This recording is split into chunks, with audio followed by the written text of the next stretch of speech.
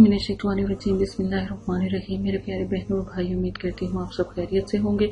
अगर अब तक आपने हमारा चैनल सब्सक्राइब नहीं किया तो जल्दी से हमारे चैनल को सब्सक्राइब करें ताकि आने वाली तमाम वीडियो बसानी आपको मिल सके। आज की सबसे प्यारी अहदीस से पहले इतनी सी गुजारिश है कि जल्दी से हमारे पेज और चैनल को सब्सक्राइब करें, पेज को लाइक और हमारे जो मैसेंजर में ज्वाइन हो जाए, ताकि जितनी भी मुश्किलें, जितनी भी परेशानियाँ हैं इन अल्हम्दुलिल्लाह, मैं आपके साथ, आपकी बहन मिलकर आपकी हेल्प कर सकूँ और इन जितनी मुझसे मदद हो सके मैं अपने बहन भाइयों की मदद करूँगी। आज सबसे प्यारी हदीस और सबसे प्यारी जो दुआ है, वो भी मैं आपको बताऊँगी और कोशिश करती हूँ और उम्मीद भी करती हूँ कि आप मेरी जो तमाम हदीसें लोगों तक पहुँचाए ताकि आखिरत में आपके लिए वसीला बने।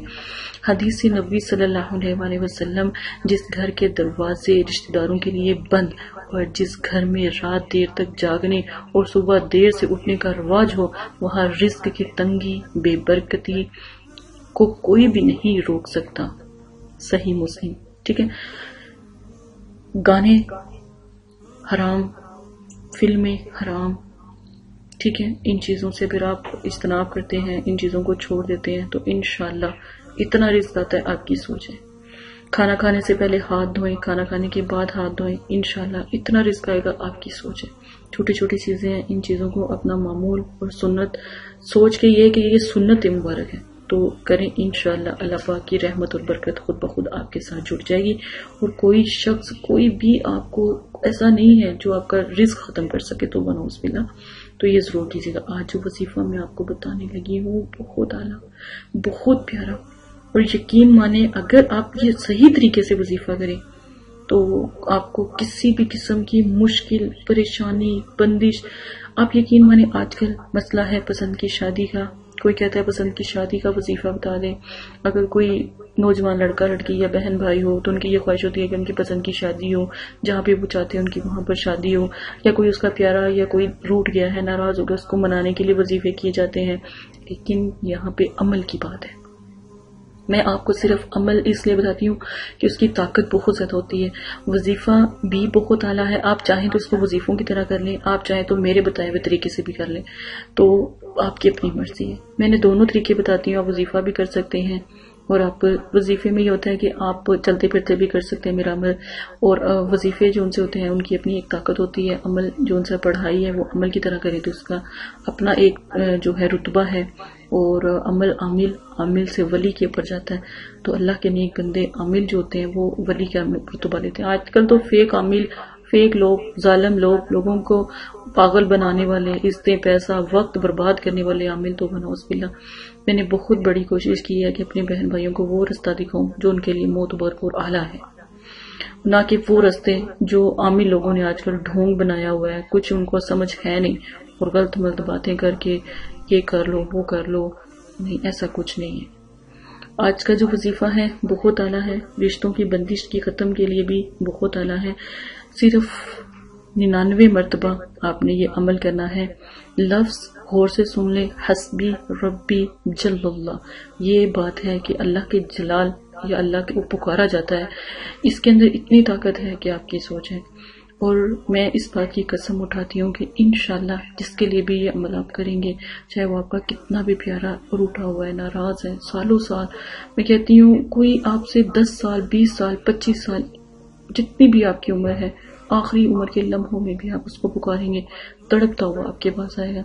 शादियों के लिए भी, जहाँ पर भी आप चाहते हैं, दिल में तो करके अल्लाह से फरियाद करें। अल्लाह को जो है मनाने की कोशिश करें रोपी चल तो यकीन माने, अल्लाह की ज़ात आपकी आवाज़ सुनती है। तहजद के वक्त अल्लाह पाक तो खुद कहते हैं तहजद के वक्त मेरा बंदा मुझे पुकार है तो मैं फटाफट अपने बंदे के पास चला जाऊँ। साथ में आसमान पे अल्लाह पाक आके कहते हैं, कौन है मेरा बंदा जो मुझसे मदद माँगता है? कौन है मेरा बंदा जो मुझे पुकारता है? कौन है मेरी रहमत और बरकत के लिए मुझे आवाज़ देता है, मुझे पुकारता है, मुझसे दुआ करता है, मैं उसकी फरियाद पूरी करूँ। अमल तहजद का टाइम करें।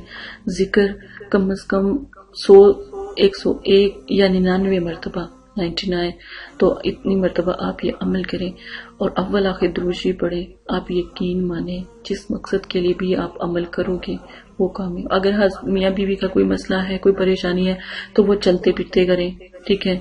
तस्वुर में अपने प्यारे को याद करके करें तो ये वजीफा है। अगर रिश्तों की बंदिश है तो चलते फिरते करें तो ये वजीफा है। अगर ये तरीके से बैठ के तहजद के टाइम करें तो ये अमल है। अमल में आपने जो है कपड़े साफ़, खुशबू और खामोशी और कोई शोर गुल ना हो। अल्लाह से खास आपका तल्लक हो। दो रकत नफल, नफाल, हाजित आप अदा कर सकते हैं और उसके बाद जो सा है, आप सजदे में जाकर आप दुआ कर सकते हैं। तो इन अल्लाह पाक आपकी फरे अव्वल आखिर दरूशीफ लाजिम पढ़ें। एक मरतबा, तीन मरतबा, सात मरतबा, ग्यारह मरतबा, तैतीस मरतबा। ये लिमिट है दरूशीफ की, ताकत है दरूशीफ की, जितना आपको प्यारा लगे उतना आप पढ़ लें। और जो है पढ़ाई, छोटी सी पढ़ाई है आप करें। आपने अगर जिस प्यारे के लिए आप अमल कर रहे हो, उसका तस्वुर बाँध के भी अमल कर सकते हैं। अगर आप रिश्तों की बंदिश या अपनी पसंद की शादी के लिए कर सकते हैं तो जिस जिस के लिए आप ये अमल कर रहे हैं उनका नाम लेके अमल करें। ठीक है? जिसका नाम हसबी रब्बी जल्लाह के बाद लास्ट में आप नाम ले सकते हैं, अपना नाम, अपनी वालदा का नाम, और जिसके लिए अमल करें, उनका नाम भी ले सकते हैं, अल्हम्दुलिल्लाह। तो यकीन माने, कोई भी आपको इस अमल से दूर नहीं कर सकता। अल्लाह पाक की ज़ात के अलावा कोई है जो आपकी मदद कर सके मेरे रब के अलावा। तो बस तोक्कल, कामिल करके ये अमल करें। इन दो माह के अंदर अंदर आपकी शादी ना हुई तो फिर कहिएगा। रिश्तों की बंदिश इतनी भी हो, वो भी खत्म। पसंद की शादी का मसला हो, वो भी खत्म। अपने प्यारों को बुलाने का तो वो एक दिन का ही अमल है। दिल चाहे तीन दिन करें, दिल चाहे तो एक दिन। एक दिन में जब वाजिया फ़र्क आए तो वो बस आप बंद कर दें, क्योंकि ये जलाली अमल है। इसकी लिमिट मैंने इसलिए कम बताई है कि क्योंकि ये बहुत तकलीफ़ या जैसे किसी के अंदर जलन पैदा कर देता है, या आग लगाता है दिलों को, दिमाग को। तो वो आपकी तरफ़ पलटते हैं। तो बस इतना ही ये अमल मतलब कि पढ़ाई इतनी करे, ना ज़्यादा ना कम। अपना बहुत ज़्यादा ख्याल रखिएगा, दुआओं में याद रखिएगा अपनी बहन को। और किसी भी वक्त अमल कर सकते हैं अलहमदिल्ला और अगर आप चाहते हैं कि मैं आपके साथ मिलकर अमल करूँ तो अपनी बहन को याद रखें। और कमेंट्स बॉक्स में चैनल को सब्सक्राइब करके तो ज़रूर बात करें। इंशाल्लाह मैं आपकी भरपूर मदद करूँगी। जजाकल्ला खैर